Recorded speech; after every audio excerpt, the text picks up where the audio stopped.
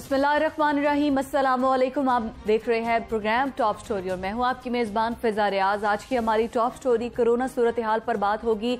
सेहत के मसले मसाल वज़ीर आज़म इमरान खान जब आए थे तो सेहत को प्रियोरिटी पर रखा था।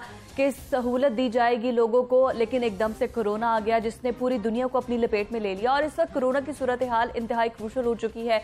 इंग्लैंड के अंदर सूरत हाल आपके सामने है। पाँच ममालिक में उस नए किस्म की जो म्यूटेशन हुई थी और वो जो नई किस्म आई थी, जिसकी वजह से कहा जा रहा था कि तेज़ी से फैल रहा है, मजीद इस वायरस का शिकार हुआ है मुख्तलिफ़ ममालिक ने अपनी जो फ़्लाइट ऑपरेशन है, वो जुजवी तौर पर बंद कर दिए हैं। बरतानिया के लिए फ़्लाइट ऑपरेशन बंद हो चुके हैं। और पाकिस्तान के अंदर अगर सूरत हाल की बात करें तो हमारी डॉक्टर्स की टीम मुतहरिक है। हुकूमत की जानब से ये दावे बार बार किए जा रहे हैं कि खुदा न खास्ता अगर जून जैसी सूरत हाल आ जाती है, पहले की तरह जैसे 98 पर चला गया था पॉजिटिविटी रेट, अगर उस तरह की सूरत हाल आती है तो हम लोगों के पास तमाम तर सहूलियात मौजूद हैं, हम इस सूरत हाल से निमट सकते हैं। दूसरी जानब अगर सियासी सूरत हाल की बात करें, सेहत के साथ सियासत जुड़ी हुई है, वो इस तरह से जुड़ी हुई है कि सियासी जलसे जुलूस हो रहे हैं, सियासी जो हंगामा राई है, वो भी की जा रही है हुकूमत के खिलाफ, और महाज जो पीडी पीडीएम ने जो जहाज़, महाज खड़ा किया हुआ है, उसकी वजह से यह है कि लोग बाहर निकलते हैं तो कोरोना मजीद फैल सकता है। यही निशानदेही बार बार डॉक्टर्स भी कर रहे हैं। यही निशानदेही बार बार हुकूमत भी की जा रही है कि हम स्मार्ट लॉकडाउन की तरफ़ जा रहे हैं, हम लोगों को रिलीफ की तरफ़ जा रहे हैं ताकि मीशत भी चलती रहे और कोरोना से हम बच भी सके। लेकिन सूरत हाल इस वक्त क्या है और हुकूमती सतह पर क्या इंतज़ाम किए गए हैं? हॉस्पिटल्स के अंदर क्या सूरत हाल है और डॉक्टर्स की इस हवाले से क्या राय है, क्या एहतियाती तदाबीर बताते हैं? आज के इस प्रोग्राम में हम बात करेंगे। अपने गेस्ट के इंट्रोडक्शन की तरफ़ चलती हूँ। हमारे साथ डॉक्टर असद असलम साहब हैं को chairman corona expert advisory group इसके अलावा डॉक्टर सईद इलाही, जो कि एक्स हेल्थ एडवाइजरी भी रह चुके हैं, वो भी हमारे साथ है। और doctor Shahid Malik general secretary PMA Lahore हमारे साथ मौजूद हैं। मैं सबसे पहले डॉक्टर असद असलम साहब, आपसे गुफ्तु का आगाज़ करूँगी। मुझे ये बताइएगा कि हुकूमती सतह पर एक तो वैक्सीन के हवाले से भी बताइएगा दूसरा ये बताएगा हुकूमती सतह पर ये जो आ, पाकिस्तान के अंदर क्या जो नया वायरस नया वायरस तो नहीं कहा जा सकता लेकिन जो उसमें म्यूटेशन हुई है और एक नई किस्म कहा जा रहा है कोरोना वायरस की क्या पाकिस्तान के अंदर अब तक कोई एक भी मरीज़ रिपोर्ट हुआ है उसका जी बिस्मिल्लाहिर्रहमानिर्रहीम जहाँ तक तलक है नए वायरस का हम्म। वो बेसिकली वायरस की सब टाइप्स होती हैं हम्म। जिस तरह डेंगू हुआ था डेंगू की एक टाइप थी फिर डेंगू की दूसरी तीसरी टाइप सामने नज़र आई इस तरह कोविड की भी वायरस की ये एक्सपेक्टेड थी कि उसमें म्यूटेशन होगी एक नई वायरस आएगी हम्म। और यही हुआ। अभी तक बरतानिया में और स्पेन में रिपोर्ट हुए और डॉक्टर अताउर रहमान साहब ने रिपोर्ट किया है कि कराची में भी एक नया वायरस आ गया है। ठीक ठीक। तो एक उन्होंने एक केस रिपोर्ट किया है। अभी तक लाहौर में ऐसी कोई सूरत हाल नहीं है कि जिसके कोई ऐसी रिपोर्टिंग नहीं है कि हमें कोई नए वायरस की कोई रिपोर्ट आई हो। लेकिन पाकिस्तान के अंदर केसेस रिपोर्ट जी ये जो लाहौर में नहीं। जी नहीं डॉक्टर अताउर रहमान साहब ने जिस तरह फरमाया कि वो उन्होंने कराची में एक नई ट्रेन एक केस रिपोर्ट किया है। ठीक। तो हुकूमती सतह पर पहले तो ये बताइए जो टेस्ट, टेस्टिंग किट्स हैं वो इस वायरस को क्या दिखा पा रही हैं? फिर जो एहतियात तो बिल्कुल कहा जा रहा है लेकिन वैक्सीन के हवाले से वैक्सीन जो हमने तैयार की थी और पाकिस्तान ने जो बुकिंग भी करवाई है वो पहला जो वायरस था उससे बचने के लिए थी। क्या ये वैक्सीन जो अब पाकिस्तान में आएगी क्या ये इस किस्म के वायरस पर भी अमल करेगी? देखिए ये तो वैक्सीन की जो मैन्युफैक्चरिंग कंपनी है वो बताएँगी कि ये वैक्सीन किस वायरस के अगेंस्ट है। हम्म। अमूमन वैक्सीन एक वायरस के अगेंस्ट होती है और उसी के खिलाफ काम करती है।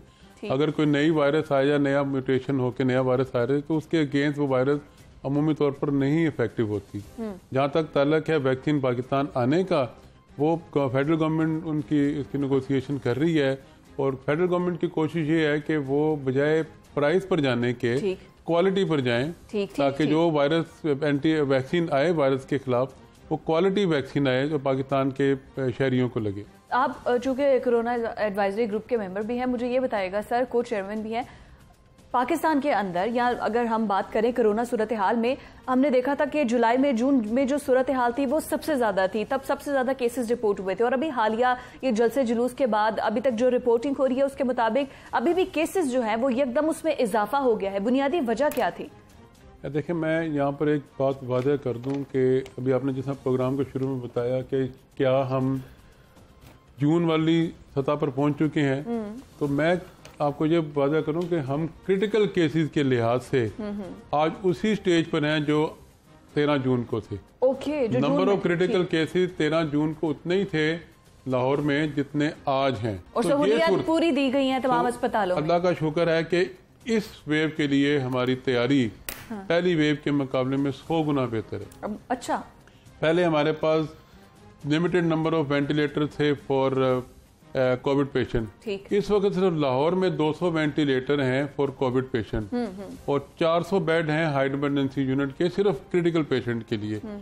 इसके अलावा ढाई सौ ढाई हज़ार बेड अलादा जो एसिम्टोमेटिक या माइल्ड केसेस के लिए वो मौजूद हैं। बिल्कुल ठीक है मतलब सहूलियात के लिहाज से तो आपने बता दिया कि हम 100 परसेंट रेडी हैं। मैं डॉक्टर साहब आपकी तरफ़ आती हूँ। पाकिस्तान मेडिकल एसोसिएशन को बड़े तहफात अक्सर रहते हैं। हुकूमती पॉलिसी से भी और डॉक्टर्स की फलाह बहबूद के लिए आप आवाज़ तो उठाते रहते हैं। तो क्या आप मुतमिन है जो हुकूमत रिलीफ दे रही है आवाम को सेहत कोरोना सूरत हाल में? शुक्रिया। मैं ये बताना चाहता हूँ कि कोरोना के जो आपने कहा तहफात तहफात हमें थे ज़्यादा, जो पहली वेव थी। पहली वेव के अंदर हमारी कुछ प्रायोरिटीज गलत थी स्टेट लेवल के ऊपर। आइसोलेशन के ऊपर और क्वारंटीन के ऊपर वो हमने उस वक्त कहा था मगर इस वक्त सिस्टम की कैपेसिटी बिल्डिंग हुई है। ठीक। और कैपेसिटी बिल्डिंग जिस तरह प्रोफेसर सद कह रहे थे कि capacity building is able to cope. देखें ये कूप कर सकता है इस वक्त क्राइसिस को मगर एक कोविड एग्जॉशन आती जा रही है सिस्टम के अंदर। लोग भी एग्जॉस्ट होते जा रहे हैं और सिस्टम ये तो ना तो कोई डेमोक्रेटिक ना कोई फाशिस्ट सिस्टम किसी सिस्टम को इसको कूप करने की पोजीशन में नहीं रहा। इस वक्त हम कूप शायद इसको देखिए जिस बता रहे थे 80 परसेंट पेशेंट्स टर्न कर रहे हैं सीधे आईसीयू के अंदर या एचडीयू के अंदर। उनका रिवर्सल रेट इंतहाई कम है। मोर्टेलिटी रेट बहुत ज़्यादा उनका। यानी कि ये जो वेरिएंट है इस वक्त वायरस का ये वायरस हमें टाइम नहीं दे रहा। मरीज़ आईसीयू में जाता है और ब्रेथलेसनेस और हाइपोक्सिया के साथ एएसडी एआरएसडी में जाता है और बंदा फारग हो जाता है। बात यह है कि हम कोई भी सिस्टम बना ले, इसको सिर्फ़ इस वक्त इख्तियात है। सिस्टम के पास वो मोडेलिटीज या टेंटिकल्स नहीं है कि हम इसकी प्रिवेंटिव मैयर कर सके। प्रिवेंटिव मैयर सिर्फ़ लोगों के पास है और वो डिफेक्टिव है इस वक्त। बिल्कुल ठीक है। अच्छा डॉक्टर साहब मुझे ये बताइएगा कि बुनियादी वजह क्या है? जिस तरह हमने बताया, डॉक्टर साहब ने भी कहा कि इस टाइम पे जितने भी पेशेंट्स आ रहे हैं, वो क्रिटिकल सिचुएशन में आ रहे हैं। पहले या तो टेस्टिंग कैपेसिटी हमारी कम हो चुकी है, पहले तो रैंडम सैम्पलिंग भी की जाती थी गवर्नमेंट की जानब से। या अब टेस्ट की कीमत इतनी ज़्यादा महँगी कर दी गई कि गरीब आदमी नहीं करवा सकता और जब एकदम से तबीयत खराब होती है तो वो क्रिटिकली पेशेंट आता है हॉस्पिटल में। वजह आपने खुद ही बता दी। अभी आपने कहा था कि दो लफ्ज यूज़ किए थे आपने। आपने कहा था कि सेहत सियासत के साथ अटैच कर दी गई। हाँ। ये गलत था। जो रवैये हैं ट्रिकल डाउन करते हैं ऊपर से नीचे की तरफ़। ऊपर स्टेट ने भी रिस्पॉन्सिबल का स्टेट मशीनरी ने इरिस्पॉन्सिबल एटीट्यूड दिखाए और पॉलिटिशियंस के भी इरिस्पॉन्सिबल एटीट्यूड थे। हम्म। अब आपने कहा ये फैला किस तरह? फैला किस तरह कि आप अपने रवैयों से एपिसेंटर बनाते जा रहे थे। इस वक्त पॉजिटिविटी रेट सिक्स परसेंट से लेकर थर्टी परसेंट तक चला। कश्मीर में ये थर्टी परसेंट हुआ। अब होते होते अब इतना ज़्यादा हो गया कि इस वक्त आज सरकारी रिपोर्ट्स है कि ये 7.9 परसेंट है। हम्म। और ये अलार्मिंग है। जैसे अभी बताया गया कि हम जून वाली स्टेज पे ऊपर आ चुके हैं। मैं उससे भी वर्ष स्टेज देख रहा हूँ। हम्म। क्योंकि इसमें सूरत हाल ये है कि अभी जो बात आपने की थी हम्म, अभी आप जो वायरस का अभी शेप दिखाते हैं एक सर्कल सा उसके ऊपर एक चूजे से निकली हुई है। वो है प्रोटीन स्पाइक्स अभी जो प्रोफेसर अता ने एक रिपोर्ट किया है कि ये प्रोटीन स्पाइक्स का जीनोम चेंज हो चुका है। ये छुरिया है इस वायरस की। वो चेंज हो के इस वक्त बहुत तेज़ी के साथ आपके लंग पैरन को पेनिट्रेट कर रही है। हम्म, हम्म। अब उस वक्त चुरिया काट रही है आपके जिसम को। अब ये है कि इस वक्त 109 वेरिएशन आ चुकी है वायरस की। जो जो करंट स्टेट है ये बहुत लीथल है। देखिए बात यह है कि इस वायरस का एक करेक्टरिस्टिक्स है कि ये बहुत तेज़ी से ड्रिफ्ट करता है। बहुत तेज़ी से शिफ्ट करता है। ड्रिफ्ट और शिफ्ट को आपको यूँ समझ लिए कि आम आदमी की ज़ुबान के अंदर ये अपना हुलिया भी बदल लेता है शक्ल भी बदल लेता है। और इसका 20 परसेंट चांसेस है कि ये लेस लीथल हो जाए। 80 परसेंट चांसेस है कि ये मोर लीथल होगा। और वो ही स्टेज बनती जा रही है। मोर लीथल है। दूसरा आपके तवसर से मैं बात कर वैक्सीन की। जी जी। वैक्सीन की अभी आपने बात की। तो वैक्सीन के अंदर जब देखे वैक्सीन एक प्रिवेंटिव मैयर है। नौ कंपनियाँ मैदान में आई। नौ में से चार थी यूके की यूएसए की। और बाकी तीन ब्रिटिश थी, तीन चाइनीज़ थी और एक रूसी कंपनी थी। हम गरीब कौम है। हमारे पास बजट मिलता है और उसके अंदर और plan are made on towers towers के ऊपर हम प्लान बना लेते हैं, हमारा एक्सपेंडिचर गलत हो जाता है। हमने एक्सपेंडिचर कुछ गलत किए। उसके साथ हमारा ये हुआ कि हमने प्रॉपर जो चीज़ करनी थी वो शायद नहीं की। एक 150 मिलियन रुपीज़ आपने रखे वैक्सीन के लिए। वैक्सीन के रेट इतने ज़्यादा है कि चाइना जैसा मुल्क, वो अमेरिका जैसा मुल्क, उन्होंने कहा जी कि अमेरिका फ़र्स्ट सारी वैक्सीन पहले अमेरिका खरीदेगा। फाइजर मोडर्ना के वायरस वो ले गए। हमारी नज़रें हैं चाइनीज़ के ऊपर। चाइनीज़ जो वैक्सीन है, वो एक तो कैंसाइडोबायो है और दूसरी कैंपिन है। इन दोनों वायरसेस का इन जो वैक्सीन का ये शायद सस्ती भी होगी। और अभी जो आप कह रही थी कि जो वैक्सीन ये इसकी सेफ्टी भी देखनी पड़ेगी।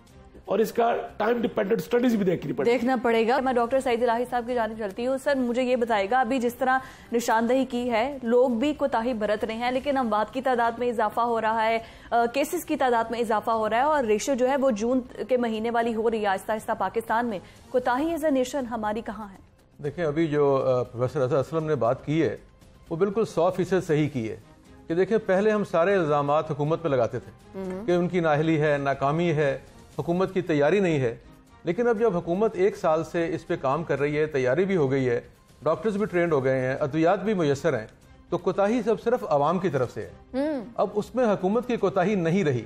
तो मैं समझता हूँ जब कुछ दिन कुछ माह पहले हम यहाँ आते थे तो हुकूमत पर एतराज़ करते थे कि जी हुकूमत ने ये कर दिया हुकूमत ने वो कर दिया और मैं और, और बहुत से लोग लेकिन मैं समझता हूँ कि अगर आज इसको हम जायज़ा लें तो इसमें हुकूमत का कसूर बिल्कुल मेरा ख्याल में ज़ीरो हो चुका है क्योंकि बार बार हुकूमत टेलीविज़न पे अखबार में इश्तहारात में हर जगह पे लोगों को तीन बातें कह रही है कि तीन प्रिकॉशंस हैं मास्क सैनिटाइज़र और डिस्टेंस ठीक। उसके बावजूद भी हमारे जो आवाम है वो समझने को तैयार नहीं है और दही इलाकों में जब मैं गया और अगर डॉक्टर साहब आपकी बात बिल्कुल ठीक है हुकूमत आगाही तो फैला रही है लेकिन हुकूमत खुद भी तो जलसे कर रही है उसी तरीके से इलेक्शन एक सवाल है फिर उसके बाद अगर आप कह रहे हैं बात आपकी मैं उसी बात को आगे बढ़ाऊँगी कि ठीक है अवाम की लापरवाही है लेकिन हुकूमत को चाहिए कि फाइन करे ताकि जुर्माने करे ताकि लोग सीखे। देखिए पहले आपने एक सवाल किया मैंने उसका जवाब दिया कि अब इस वक्त हुकूमत अगर जलसे कर रही है या अपोजिशन कर रही है हम्म। तो ये उनकी कोताही है गलती है और अब आवाम भी देखे ना कि उसको रिस्पॉन्ड नहीं कर रहे। हाँ। अगर बड़े बड़े जलसों का ऐलान किया जा रहा है तो पब्लिक उसमें नहीं जा रही। हम्म। अगर तो की जा रही है दो लाख की तो लोग आ रहे हैं चंद हज़ार। तो मैं ये समझता हूँ कि इस वक्त पूरी कौम को ये ख्याल करना है क्योंकि ये पी एम ए बैठी है वाई डी ए के लोग डॉक्टर्स वाइस चांसलर साहब और बहुत से लोग जो हैं उन्होंने तो बेचारे अपनी जानों तक कुर्बान की हैं। अस्पतालों में आप जाएँ अब ये असद साहब बैठे हैं डॉक्टर साहब बैठे हैं वहाँ पे सैकड़ों पेशेंट आ रहे हैं। हम्म। ये उनको ट्रीट भी कर रहे हैं अपनी जान पे खेल कर उनका इलाज भी कर रहे हैं। लेकिन अगर लोग नहीं समझ रहे तो उन्हें समझाने के लिए कवानीन की ज़रूरत है सख्ती की ज़रूरत है। और जो आपने भी कहा कि जलसे जुलूस उस पर पाबंदी लगाए। हम्म। अगर जलसों गवर्नमेंट के लोग हैं उन पर भी पाबंदी लगाए। हम्म। और दूसरी बात अभी जिन्होंने की है मैं इसे गुजरा हूँ दो माह पहले। तो एग्जैक्टली exactly जो प्रोफेसर साहब ने कहा है कि हम लोग जब बुखार की तीसरी चौथा दिन पहुँचता है कोविड नमूनिया होता है तो अस्पताल पहुँचते हैं। और हमारे साथ के बहुत से लोग डॉक्टर्स थे जिनमें डॉक्टर शफकत थे डॉक्टर रजियाउल्ला थे वो शहीद हो गए वहाँ पे हमारे साथ ही आगे पीछे थे। तो मैं ये समझता हूँ कि इस वक्त वक्त की आवाज़ ये है कि जो प्रिकॉशनरी मयर्स हैं उन पर स्ट्रिक्टली अमल किया जाए और हुकूमत को जिम्मेदार ठहराने के बजाय अब क्या बुजदार साहब मास्क लेके बाहर खड़े हो जाएँ कि जो गुजारा उसको मास्क पहनाएँ या उसको सैनिटाइजर पेश करें कि जी आप हाथ को जरा सैनिटाइज कर लें। तो मेरा यह ख्याल है कि अब आवाम को इसका फैसला करना है कि क्या इस बीमारी को आगे बढ़ाना है या रोकना है? बिल्कुल ठीक है। मैं डॉक्टर साहब आप प्लीज़ बात मुकम्मल कर कीजिए। एक और आपने पूछा था कि मैं हुकूमत को क्या मशवरा देना दूँ दे सकता हूँ। लास्ट प्रोग्राम में जब आप थे मेरे साथ टेलीफोन लाइन पर हमीद पताफी साहब भी थे तो आप ही कह रहे थे कि ये जो शादी हॉल्स और रेस्टोरेंट्स आउटडोर किए गए हैं यहाँ पर पाबंदी नहीं की जा रही एस पीस की तो मैं हुकूमत को स्ट्रिक्टली बोलूँगा। तो मैं मैं उस तरफ़ बेसिकली जानना चाह रही थी कि कुछ किया उस वादे का। देखें अब अगर आप रिकॉल करें लास्ट फ़र्स्ट वेव में वीकेंड पर और डेली शाम छः बजे के बाद दुकानें बंद हो जाती थी शाम छः बजे के बाद और वीकेंड के दो दिन ऐसे होते हैं हम्म। जब जिसने छोटी सी भी चीज़ लेनी होती है वो अपने घर वालों के साथ जाके चीज़ें लेते हैं हम्म। उस वक्त हमने छः बजे दुकानें बंद कर दी वीकेंड पर बंद कर दी सिर्फ़ वही शख्स बाज़ार गया जिसने बहुत ज़रूरी चीज़ लेनी थी हम्म। तो वहाँ पर लोगों का जमघटा कम हो गया। वो एक बहुत बड़ी वजह थी जिससे हम तो जिसकी वजह से हमने किया ना? इंडिविजुअली तो किसी ने नहीं किया। ये भी तब भी हुकूमत का फैसला था। तो बिल्कुल आपने कहा ना कि मैं आप क्या मजीद मशवरा दे सकता हूँ? तो मेरा मशवरा वही होगा कि फ़र्स्ट वेव की तरह वीकेंड्स पर और शाम छः बजे के बाद ये दुकानें और मॉल वगैरह को बंद किया जाए। इससे लोगों का वहाँ पर क्राउड कम हो जाएगा और इसके अलावा हर तरह का क्राउड शादी हो रेस्टोरेंट हो जलसे ज़रूर बिल्कुल टोटल पाबंदी होनी चाहिए जी। इसके अलावा और कोई हल नहीं है डॉक्टर शाहिद मलिक साहब आप क्या कहेंगे? मैं आपसे आपके क्वेश्चन के दो कंपोनेंट थे। एक था एसओपीज इशू करना दूसरा है उसकी इम्प्लीमेंटेशन इम्प्लीमेंटेशन होता है writ of the government writ of the government सिर्फ़ एसओपीज इशू करना नहीं होती। रिट ऑफ़ द गवर्नमेंट ये है कि अभी जो सईद अली साहब ने बड़ी अच्छी बात की गैर ज़िम्मेदारी का अगर मुजाहरा स्टेट ने किया पॉलिटिशियन ने किया तो आप उनको रोकने वाले तो स्टेट ने करना है ना गवर्नमेंट ने करना है। वो आपने नहीं किया। हाँ। अब इस वक्त शादी हाल देख लीजिए जो मैं ये इस चीज़ का मैं रहा हूँ एडवोकेट के पूरी दुनिया के अंदर कारोबार होता है कि मगरब के बाद फ्रॉम डस्क टू डॉन सुबह शुरू कर लीजिए शाम को खत्म कर लीजिए। हम लोग अभी जो सईद साहब ने बात की बहुत अच्छी बात थी। ये रवैयों की जंग है। ये बिहेवियर्स की जंग है। बिहेवियर चेंज कम्युनिकेशन साइकोलॉजी के अंदर एक सब्जेक्ट है। उन्होंने बर्बादी होनी होनी है। अगर बिहेवियर ये रहेंगे तो। बिहेवियर क्या है हमारा?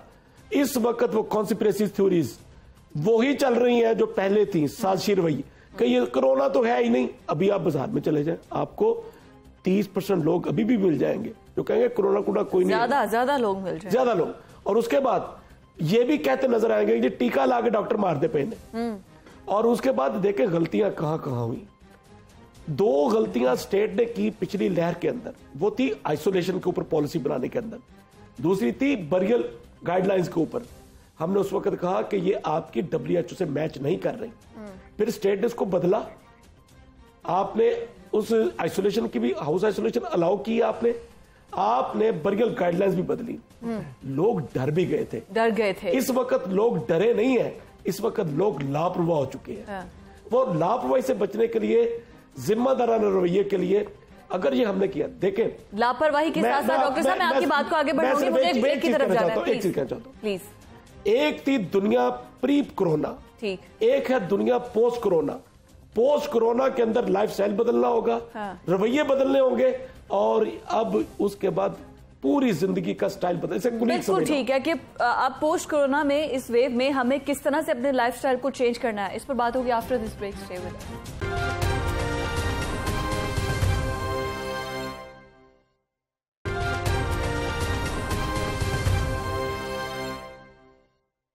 welcome back नाजरीन एक बार आपको फिर से खुश आमदेद बोलेगी और मैं डॉक्टर असद इस्लाम की जानब चलती हूँ। डॉक्टर साहब ये बताइएगा कि ब्रेक पर जाने से पहले जिस तरह डॉक्टर साहब बता रहे थे कि हमें अब अपने लाइफस्टाइल को चेंज करना पड़ेगा।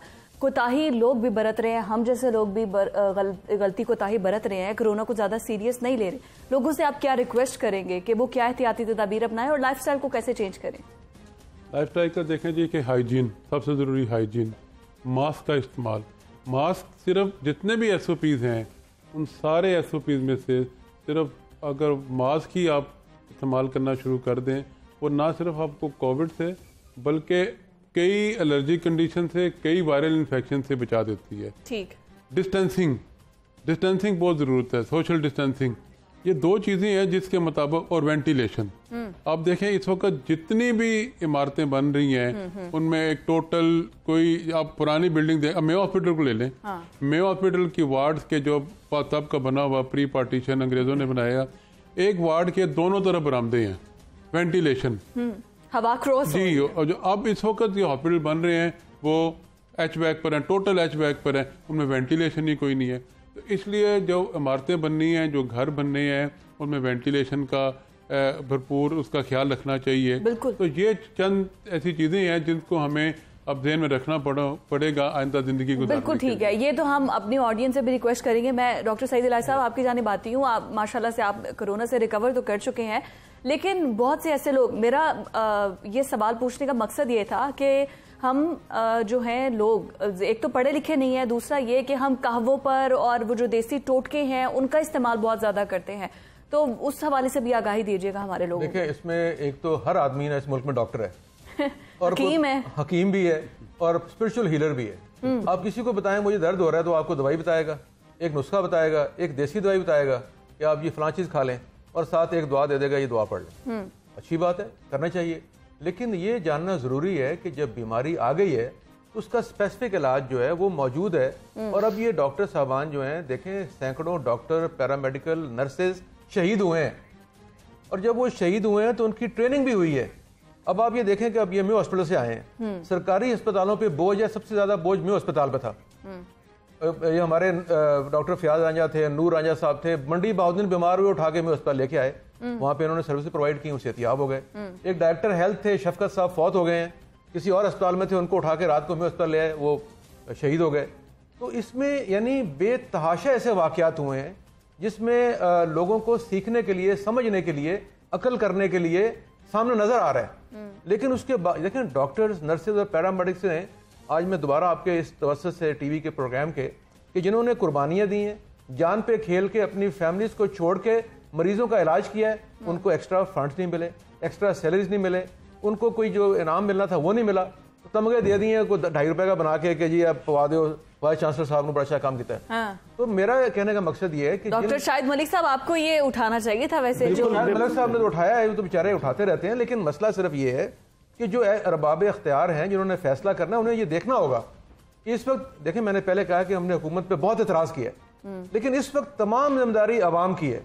और हुकूमत का काम यह है कि जैसे अभी आप देखें कि होटल जो है आउटडोर कर रहे हैं शादियाँ आउटडोर अलाउ कर रहे हैं इनडोर बंद कर दी गई हैं। इस तरह कुछ और इकदाम करने हैं लेकिन पब्लिक को रिलीजियसली फॉलो करना है क्योंकि ये बीमारी अभी चंद महीने और चलनी है। हाँ। और कुछ लोग ये कह रहे हैं कि शायद कुछ साल तक चले क्योंकि जो पिछला फ्लू था 1919 का वो दो साल तक तबाहकारी करता रहा चलता था रहा था। और अभी आप देखें नए स्ट्रेन आ गए हैं यूके में। अच्छा उसमें अभी वैक्सीन की बात हो रही है।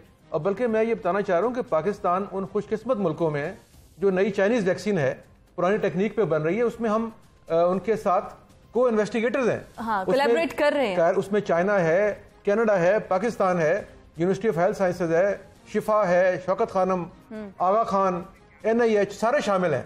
तो हमारे यहाँ थर्ड ट्रायल सक्सेसफुली खत्म होने वाला है। बिल्कुल तो मेरा ये ख्याल है कि और एक महीने में जो कमर्शियल स्टेज है वैक्सीन की आ जाएगी तो लोगों को तकरीबन दुनिया के मुकाबले में मुफ़्त वैक्सीन मिल जाएगी चाइनीज़। बिल्कुल अल्लाह करे ऐसा हो जिस तरह प्राइसेस की बात पहले कर रहे थे डॉक्टर साहब मैं डॉक्टर शाहिद साहब आपकी तरफ़ भी आऊँगी लेकिन मैं पहले डॉक्टर साहब आपकी तरफ़ आऊँगी। मुझे ये बताएगा कि पाकिस्तान में वैक्सीन कब तक दस्तियाब होगी और जो ट्रायल्स हैं वो हम चाइना के साथ कर रहे हैं या फाइजर की जो है वैक्सीन अगर हम इम्पोर्ट करते हैं यहाँ पर क्यों नहीं कोई रिसर्च वर्क हो रहा? नहीं नहीं यहीं पे हो रहा है। फाइजर के साथ तो हम कुछ नहीं कर रहे। नहीं इम्पोर्ट तो करेंगे ना हम उनसे। इम्पोर्ट तो वो करेंगे जिसको ट्रायल यहाँ कर रहे हैं जो आपको सस्ती मिल जाएगी। चाइना और कनाडा हमारे से ताउन कर रहे हैं। अच्छा। और पुरानी टेक्निक हम यहाँ पर खुद बना रहे हैं क्या नहीं मेडिसिन बनाने की ज़रूरत नहीं है ट्रायल करना है। ओके, हमें सत्तर हज़ार बंदों पर ट्रायल हो रहा है। ठीक है। वो खत्म होने वाला है। जिस दिन वो कमर्शियल स्टेज पे आएगा वही वैक्सीन जो सैंतीस डॉलर की मिल रही है आपको आधे डॉलर की मिल जाएगी। बल्कि चाइना फ्री दे देगा आपको। पिछले शाहिद साहब ने बताया ना कि पहले उन्होंने कहा अमेरिका फ़र्स्ट सारी वहाँ तो हमारे हमारे हमेशा जो काम आया है वो चाइना आएगा हाँ। ठीक है ना जी? तो इस वैक्सीन में भी हमारे काम चाइना ही आएगा और हम उस ट्रायल का भरपूर हिस्सेदार हैं। मैं इसमें ऐड कर दूँ। जी जी। देखिए अभी जैसा मैंने बताया था कि ये नौ कंपनियाँ हैं। इनमें से चार चाइनीज़ कंपनी है और दो मैंने वैक्सीन के नाम भी बताए थे। एक कैम्साइनो बायो और दूसरी कैम्पिन जो थी जो वैक्सीन है। दो ट्रायल्स चल रहे हैं थर्ड फ़ेज़ के ऊपर जा रहे हैं। वो एक है एनआईएच के साथ कोलेबोरेशन के साथ एक इंडस के साथ और एक प्रोफेसर अता का जो जिनोम सेंटर है लेकिन आपने खुद ही बताया कि 107 किस्म की टाइप्स अभी तक 109 109 109 किस्म की। स्टेन्स हाँ। और ये मैं बताऊँ कि और ये वैक्सीन वैक्सीन? के लेवल्स होते हैं वैक्सीन ये टोटली देखें आपकी वैक्सीन ने आपके अंदर एंटीबॉडीज बनानी बनानी है। एंटीबॉडीज की एज है तीन महीने वो भी अगर स्टेन के खिलाफ इफ़ेक्टिव होगी तो जो इसकी लिमिटेशंस है और उसके बाद नेचुरल जो एक्सपोजर होता है वो तीन महीने बाद एंटीबॉडी खत्म हो जाती है। मेरा सिर्फ़ मैसेज ये है कि हम वैक्सीन के ऊपर टोटल ट्रस्ट नहीं कर सकते। हम हमें इसको कुलीग स्टेटस दे के अपने रवैये बदलने होंगे। वैक्सीन आपको टोटल प्रोटेक्शन नहीं देगी। बचत के पाँच असूल हैं मैं आपको क्लियर कर दूँ। एक है मास्क एक है सोशल डिस्टेंसिंग फिर तीन डी हम कहते हैं। डी डेंसिटी डिसइंफेक्शन और ये डिस्टेंस देखें यहाँ पर बाज़ार में चले जाए आप। दुकानदार गट शटर खोलता है अगर पाबंदी लगाते हैं अंदर घुसा के शॉपिंग करा के दूसरे गेट से बाहर। बिल्कुल ठीक। और लोग इतने गैर रिस्पॉन्सिबल हैं कि बगैर किसी कौन की दुकान के ऊपर बिल्कुल ऐसे लगी हुई है। ऐसे है। अगर ये रवैये हैं तो आप स्टेट कुछ भी कर ले। मसल पॉपुलेशन है ना। आप पॉपुलेशन जिस तरीके से एक्सप्लोजन हो रहा है आप रिसोर्सेज चाँद से पकड़ के ले आए ये कभी ठीक नहीं हो सकते। इस तरह इसके साथ जितनी मर्ज़ी कैपेसिटी बिल्डिंग कर ले।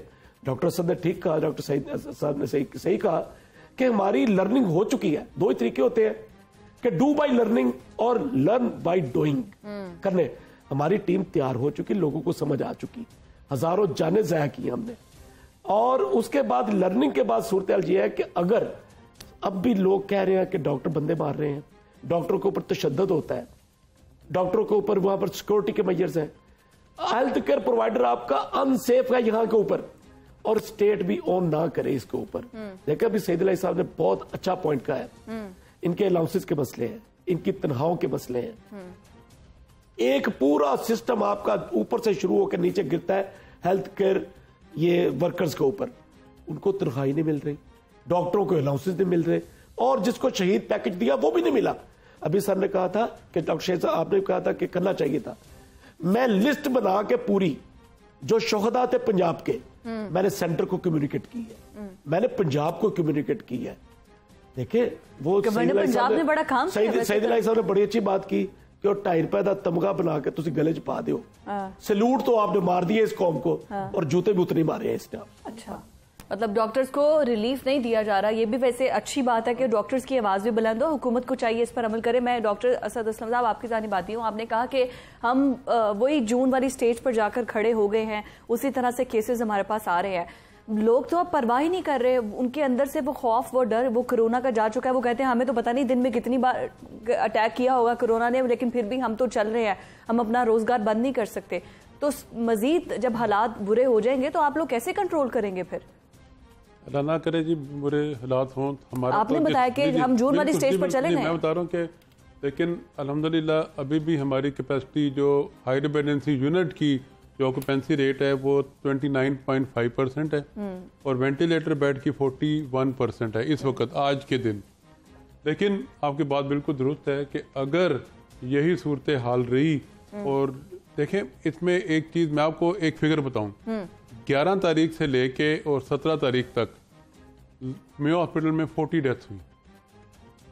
और उनमें चालीस में से चौंतीस लोग वो थे जिनकी उम्र पचास से ज़्यादा थी। ओके। ठीक है जी? ठीक। और चालीस में से सैंतीस मरीज़ वो थे जिनको पहले ब्लड प्रेशर था हाइपरटेंशन थी डायबिटीज़ हम्म। था या गुर्दों की बीमारी थी या लिवर की बीमारी साथ में कोई और ये लोग वो ये वो लोग थे जो पचास साल के यानी कि पचास साल थे साठ साल से ऊपर थे या सत्तर साल? ये बुज़ुर्ग लोग हैं। हम्म। कहने का मकसद ये है कि ये लोग खुद नहीं बाहर गए। मैं मैं जो नौजवान तबका जो बाहर इस वक्त फिर रहा है हम्म, हम्म, बावजूद मना करने के कि गैर ज़रूरी बाहर से निकलना बंद कर दें लेकिन लोग बाद नहीं आ रहे। जो दुकानों में जाते हैं सड़कों पर फिरते हैं महफिलों में जाते हैं शादियों में जाते हैं रेस्टोरेंट में जाते हैं डिज़ीज़ एक्वायर करते हैं वो ठीक रहते हैं अपनी जवानी की वजह से क्योंकि इम्यून सिस्टम स्ट्रॉन्ग है। लेकिन जाके घर के बुज़ुर्ग को ट्रांसफ़र कर देते हैं। और जो बुज़ुर्ग जो पहले ही ब्लड प्रेशर शुगर गुर्दों की बीमारी मुबतला हैं उनको जब बीमारी लगती है तो वो दो तीन दिन घर गुजारते हैं अपने बुज़ुर्गों को घर गुजारते हैं फिर जब उनके बुरी तरह नमूनिया होता है तो, तो वो हॉस्पिटल में से तो चालीस में से ये छत्तीस लोग थे जो पचास साल से उम्र थे ज़्यादा थे। तो मकसद ये है कि जब तक हम रवैया नहीं अपना बदलेंगे सिर्फ़ मैं कहता हूँ सारे एस को छोड़ दें हम्म। सिर्फ़ मास्क ही पहनना शुरू कर दें। मास्क के बगैर ना आप घर से बाहर निकलें आप घर के अंदर भी साथ साथ बैठे मास्क पहन लें। तो हमें अंदेशा है कि खुदा ना खाता ये जो अभी तो तीस फ़ीसद और चालीस फ़ीसद है ना ऑक्यूपेंसी रेट ये बढ़ता बढ़ता बढ़ता ये ना हो कि हम हाथ खड़े कर दें कि नहीं अब बात हमने मजीद दाखिल नहीं कर सकते। बिल्कुल ठीक है अगर हुकूमत जो है वो इनिशिएटिव ले रही है और तमाम तर एस पर अमल करवाने की कोशिश करी है तो इंडिविजुअली हमारा भी फ़र्ज़ बनता है। मजीद बात होगी कोरोना पर ही और इससे बचाव के लिए क्या कुछ करना चाहिए लेकिन after this break stay with us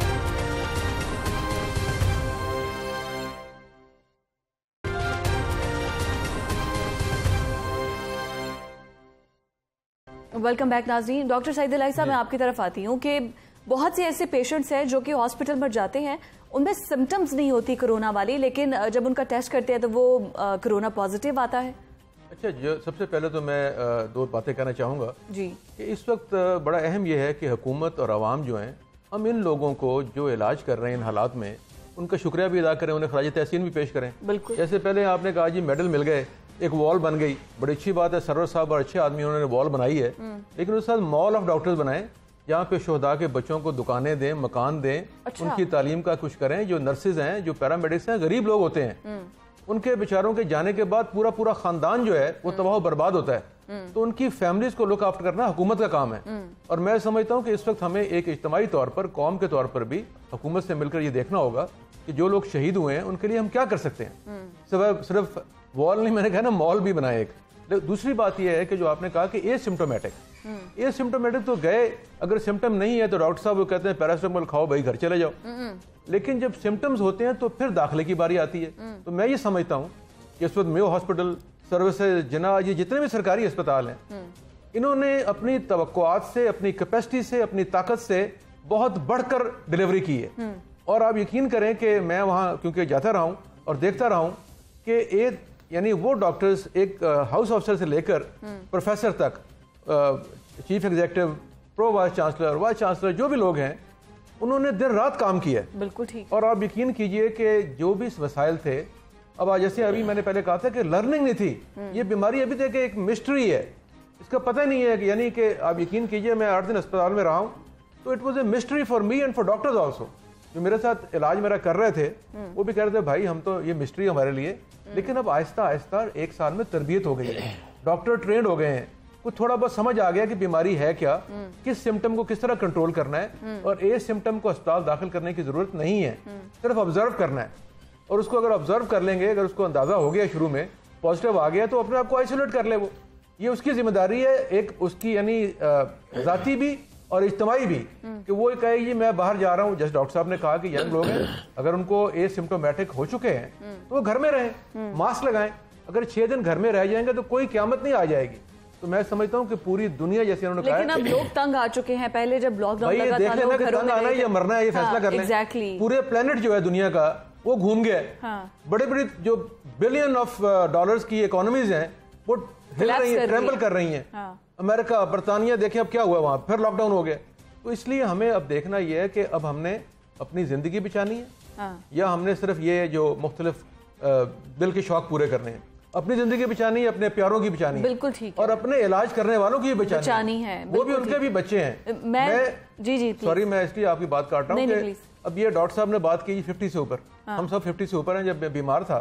तो मैंने सोचा कि अगर हम चले जाए शहीद हो गए क्योंकि वबा में तो आदमी शहीद ही होता है ना। शहीद अगर शहीद हो गए तो क्या होगा? एक दिन एक बयान आएगा दूसरे दिन जनाजा होगा तीसरे दिन कुल होगा कि जी बड़े अच्छे आदमी थे अल्लाह मगफरत करे।